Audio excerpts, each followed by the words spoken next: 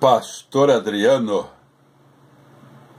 Tapiraí, São Paulo, Brasil, sexta-feira, sexta-feira, 31 de março de 2017. Já lemos a Bíblia na rua, agora estamos lendo aqui para você. Vamos ler? Evangelho de Lucas, capítulo 13, versículos de 10 até 17. Vamos ler aqui então. Vamos ler esta palavra de Jesus. Vamos ler.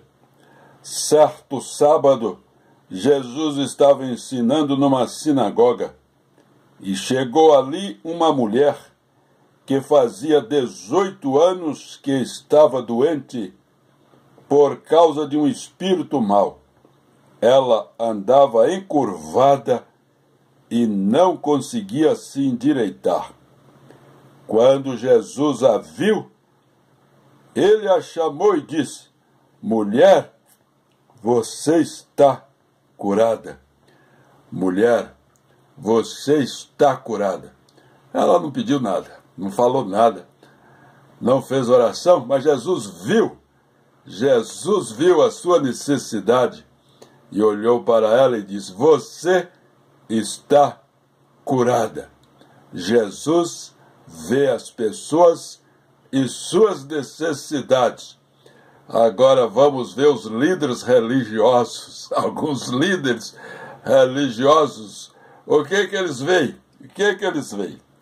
Depois que Jesus disse: Mulher, você está curada. Aí pôs as mãos sobre ela e ela logo se endireitou e começou a louvar a Deus. A mulher ficou curada e começou a louvar a Deus. Mas, mas, mas o chefe da sinagoga ficou zangado, porque Jesus havia feito uma cura no sábado. É, o chefe da sinagoga não estava preocupado com a mulher, estava preocupado com o sábado, a lei. Ah, Jesus fez a cura no sábado, mas o chefe da sinagoga ficou zangado porque Jesus havia feito uma cura no sábado. Por isso disse ao povo: Há seis dias para trabalhar. Há seis dias para trabalhar. Hoje é sábado, não pode. Pois venham nesses dias para serem curados. Mas no sábado não, no sábado não. No sábado não pode ser curado, não. Pode não.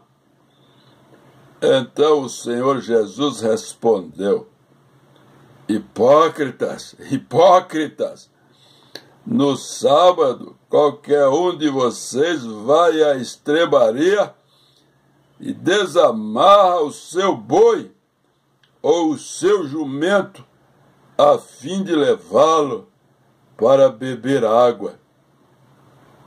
E agora está aqui uma descendente de Abraão que Satanás prendeu durante 18 anos. Porque é que no sábado ela não devia ficar livre dessa doença? Porque é que no sábado ela não devia ficar livre dessa doença? Os inimigos de Jesus ficaram envergonhados com essa resposta, mas toda a multidão ficou alegre com as coisas maravilhosas que Jesus fazia. A multidão ficou alegre com as coisas maravilhosas que Jesus fazia. Mas o líder da sinagoga ficou zangado. É isso aí, meu irmão, é isso aí, minha irmã. Como está a nossa religião? Mais preocupada com as leis, com as normas ou com as pessoas? Jesus estava preocupado com as pessoas, fazer o bem às pessoas.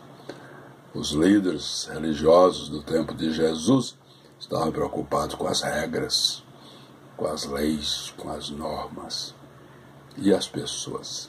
E as pessoas? E as pessoas? Que Deus nos ajude a entender a religião de Jesus, o que, que Ele quer de nós, não é? É, Miqueias 6,9 diz isso, né? Vamos ver o que que Miqueias 6,9 diz. É, vamos abrir aqui, a leitura nós já fizemos, mas eu me lembrei de Miqueias 6,9. Miqueias 6,8. Não é Miqueias 6,8. Vamos lá ver Miqueias 6,8. Isso aqui, ó, Joel, Amós Abadia, Jonas Miqueias, Naum, Abacuque, Jonas Miqueias. Mas é Joel, Amós Abadia, Jonas, Miqueias, isso, Miquel. Vamos lá. Miquel. Na linguagem de hoje, como diz Miquel 6,8 na linguagem de hoje. O Senhor já nos mostrou o que é bom, ele já disse o que exige de nós, que ele quer que façamos o que é direito, que amemos uns aos outros com dedicação e que vivamos em humildade, em humilde obediência ao nosso Deus. Você me quer 6, 8, só para completar a nossa leitura, me lembrei agora, então vim aqui ver, né?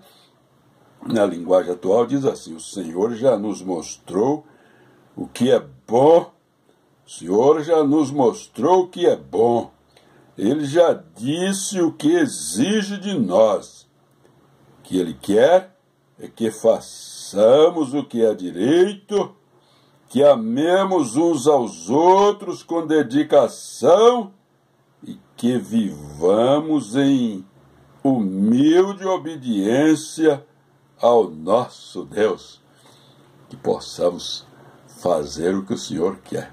Está aqui, Miqueias 6,8. A leitura foi em Lucas 13, de 10 a 17. E lemos aqui também Miqueias 6:8 para completar, porque nos lembramos, não é? Deus abençoe você, meu irmão, Deus abençoe você, minha irmã, em nome de Jesus Cristo.